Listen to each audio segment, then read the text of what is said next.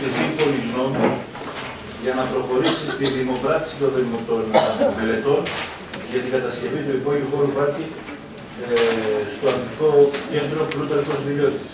Είναι μια παλιά, ένα παλιό αίτημα του Δήμου Περιστερίου, το οποίο έχει αρχίσει να υλοποιείται.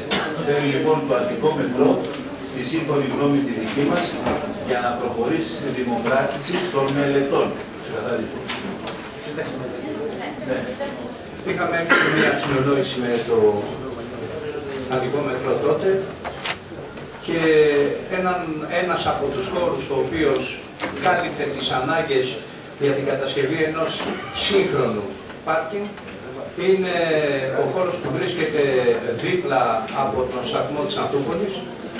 Ε, αυτή τη στιγμή ο συγκεκριμένος χώρος φιλοξενεί μια παιδική χαρά, ένα-δύο μικρά γήπεδα μπάσκετ, είναι ένα οικοδομικό και τετράγωνο το γήπεδο Φλούταρχος Βιλιώτης που το ξέρουμε όλοι. Ε, είναι γεγονός, όπως είπαμε, ότι αυτή η πρόταση ξεκίνησε να ξεδιπλώνεται εδώ και τρία χρόνια. Ως που ορίμασε και πριν από λίγο καιρό, μετά από μία επαφή που είχαμε ξανά με τον ε, κύριο Τσίτουρα, τον πρόεδρο της Αττικό Μετρό, το Αττικό Μετρό ήδη το έχει εντάξει, έχει εντάξει το συγκεκριμένο χώρο, να ξεκινήσει να κάνει κάποιες μελέτες, να ξεκινήσει να κάνει κάποιες μελέτες, ε, για να κατασκευαστεί εκεί πέρα. Ένας ε, υπερσύγχρονος ε, σταθμός ε, αυτοκινήτων, πάρκινγκ, υπόγειος.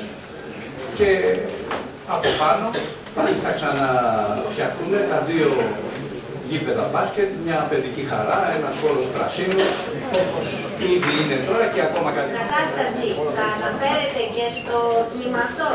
Ε, τα δέντρα που είναι τα, τα κοπούν, ε, η, ο τρόπος μάλλον συζήτησης ως προς τη μελέτη θα είναι και δέσμευση μετά ως προς την κατασκευή με την Αττικό και την Αττικό. Να το πούμε Το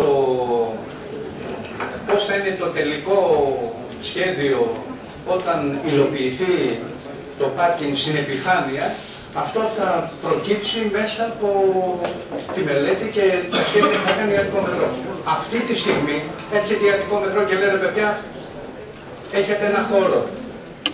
Εγώ είμαι διατεθειμένος στο συγκεκριμένο χώρο που έχετε να κάνουμε ένα μεγάλο σύγχρονο σταθμό αυτοκινήτων πάρκινγκ, αλλά για να ξεκινήσω εγώ να κάνω μελέτες, θέλω την έγκρισή σας.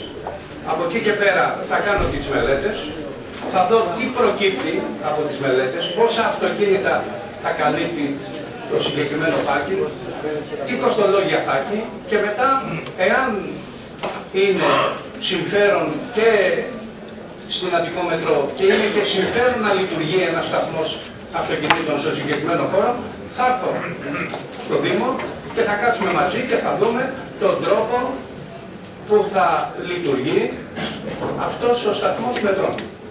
Τον τρόπο διαχείρισης του σταθμού μετρών. Ε, ο Δήμος Περιστερίου δεν θα δώσει ούτε ένα ευρώ όταν και εφόσον προχωρήσει δεν θα επιβαρυνθεί ο Δήμος ούτε με ένα ευρώ.